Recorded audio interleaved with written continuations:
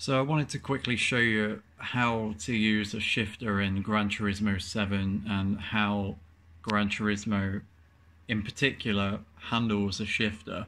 So on PS5 obviously, um, first this applies to Thrustmaster only. I don't know how Logitech works but first as far as I'm aware if you want this to work on PS5 um, it has to be plugged into the back of the wheelbase um, I know, I think it was Gran Turismo Sport on the PS4. You used to be able to use the uh, USB lead on this plugged directly into the PlayStation.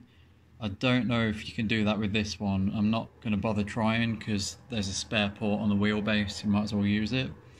So yeah, plug it in, fire up Gran Turismo. The game just immediately recognize it recognizes it. You don't have to uh, do any calibration or anything. Oh yeah, I will say you do need to update the firmware on this to the latest version or I don't believe it works. Um, I think it's version 29 for this and the latest firmware uh, as of late June 2022 is version 34 for the wheel. So yeah, the game recognizes it. Basically what happens is you can still use paddles like that um, and you don't need the clutch to paddle shift. Um, but if you want to use the stick you basically have to push the clutch pedal in once and then the game sort of recognizes that you're using a stick and the stick will start to work. Um, if I try and put it in gear now it will just grate the gears if I don't push the clutch pedal down Hear that? So obviously you have to push the clutch down. Let's put it in first. Now, if I just let go of the clutch quickly now, it will stall. So I'll do that to show you.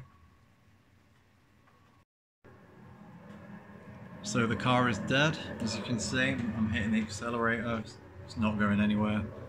Um, so to restart the car, you just push the clutch in give it some revs and it just restarts. Stall it again, just keep the brakes on. Stalled, So I didn't push the clutch down. Well, you know how a manual car works. So again, to restart, make sure it's in first, or any gear really, and make sure the clutch is pushed in. Push the gas down,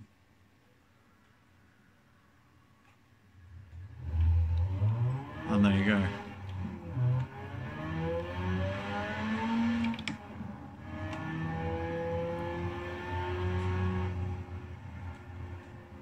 And obviously you can push the clutch in as you drive in and hit the revs. It's just going to do that.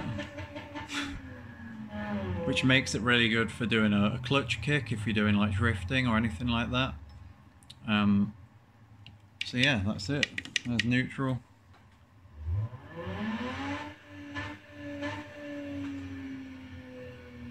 It's going to take a bit of practice, um, but you have to make sure you give it some revs when you're setting off, as you would in a real car. So, a bit like that.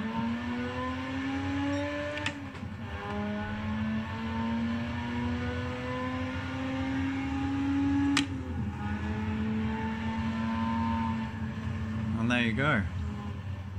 Again, if I slam the brakes on and don't push the clutch in, it's killed the car. So put it in first, hold the accelerator down, and it restarts. So yeah, hope this helps. Really good shifter. I've actually ordered a uh, Klix Beetle for it. I might, I'll probably do a video on that as well. And this uh, low down shifter mount is really good. Proper sturdy. It's just not going anywhere and it looks neat. So yeah, that's how you get a shifter to work in GT7. You must remember to update the firmware to the latest one for this and for the wheel uh, base as well. It is game dependent, but I'm just saying for Gran Turismo 7, if you want a shifter, if you want this shifter to work, you need the latest firmware.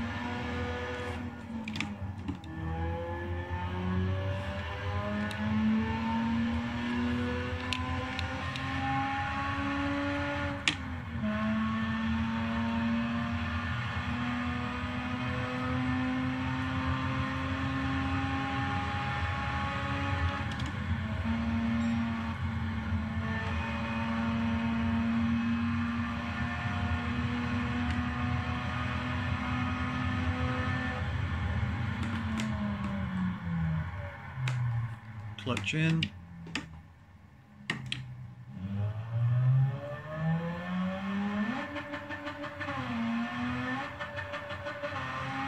You can also uh, adjust the uh, clutch pedal if you want to.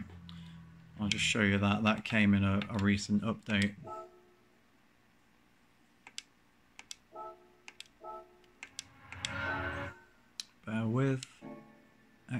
Actually, I think you can do it from here. So you go up top, press the Gran Turismo button, options, and where is it? Uh, go to controllers, and then I think it's, yeah, steering controller settings, and there you go. You can view your uh, steering angle, there's your brake, accelerator, clutch, calibration. You can set the minimum amount of uh, clutch pedal travel before the clutch engages, which is quite nice. Um, default value is 12.5, which I think is, yeah, that feels about right. Yeah, feels good to me.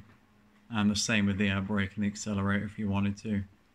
So yeah, hope this helps. Um, works really well. It's a really good setup, and the game handles it nicely as well.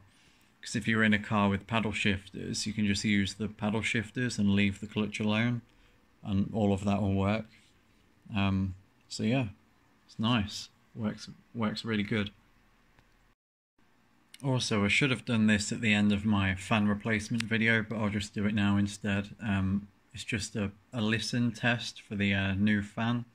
Everything's on mute, so hopefully you can hear this. It is very quiet compared to the stock one though.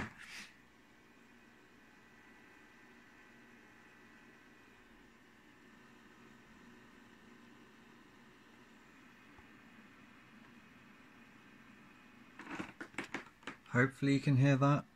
Um, this is just completely cool on the top. Can kind of feel the air coming out the vents a tiny bit.